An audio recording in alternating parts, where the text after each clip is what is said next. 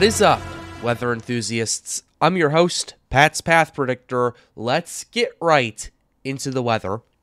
All right, so this is the situation we have right here for you folks. Today is the big day. We have an enhanced risk issued in Texas, including DFW and Waco. And we also, rather unexpectedly, have an enhanced risk issued for parts of Florida as well, including Orlando and Melbourne those areas right there, predominantly for a hail threat right here. But we're going to go ahead and show you all the risks we have. We now upped it to a 10% hatch tornado risk. I was kind of anticipating something along those lines right here. Wind risk is up to 30% in Texas, 15% in Florida.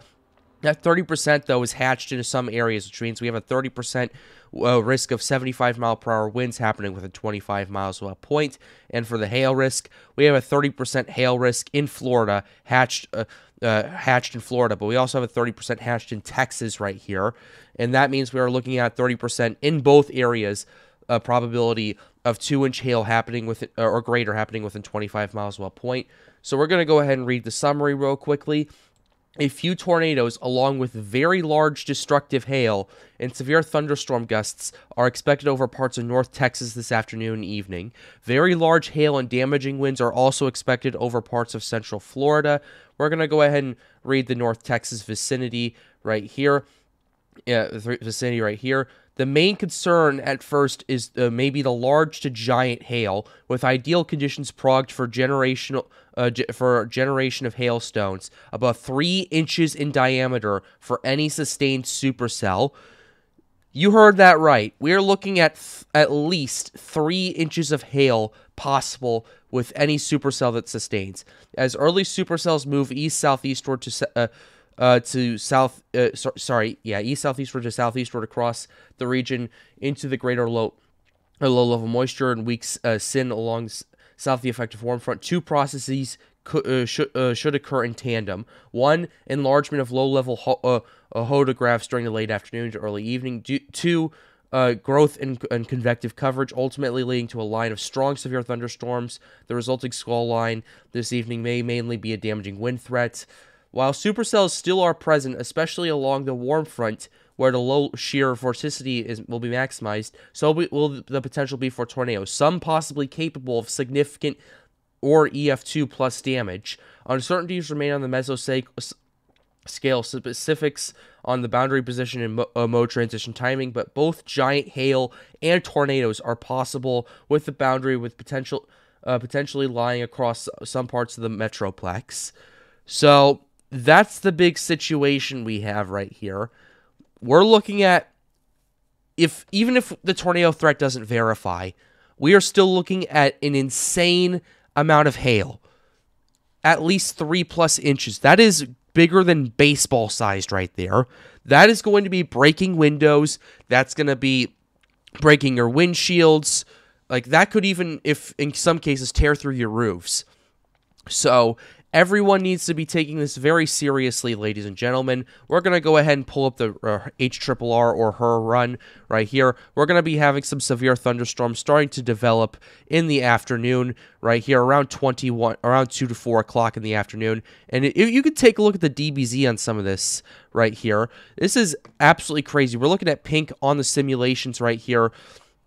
Yeah, th this is once again a massive uh, a massive hail threat with this right here. As you can see, like 69 dBz. That's according to the HRRR right here.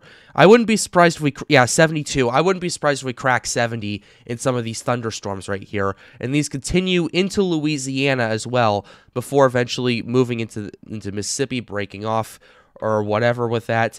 And we do have some uh, some soundings for to show you guys. This this sounding was taken in Texas, Cape of over 3,000. SRH is at almost 250. The shear is at 17 at 1 kilometer and 35 at 3, 55 at 6. And the shear is also quite directional as well, so everyone needs to keep that in mind. Potential hazard type tornado. We're look. I can understand why the SPC went up to 10% hatched because of the because of this right here. That's predominantly why with these soundings. And as you can take a look, next one, we're looking at, again, 3,000 Cape. And the shear is not nearly as impressive at one kilometer as it is down, as it is in six right there. It's still pretty directional. If something does uh, spawn a tornado there, could, we're not entirely sure if it does. It's a little bit more difficult for me to uh, estimate if that's going to happen or not. Now, if we go ahead and go over here, yeah, once again, 14 knots at one kilometer, but 62 knots at six. Yeah, that's definitely going to enhance your supercell development right there, especially with the 3000 cape in association with that. So definitely a very serious situation going into this. Last thing I want to go ahead and take a look at, uh, take a look at for you guys is the supercell composite and the significant tornado parameter with this. Here's the supercell composite, and this is at 6 p.m. Uh, Central Time right here. Supercell Composite is at 19, ladies and gentlemen. Like that's like you uh, you can't say anything else about it right there.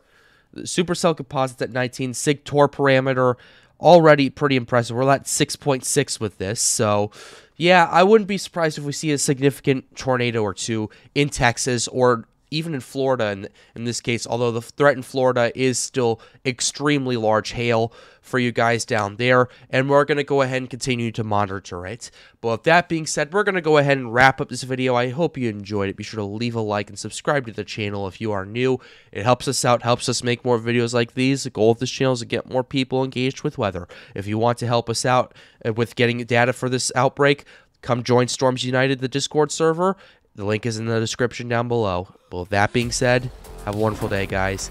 Stay safe.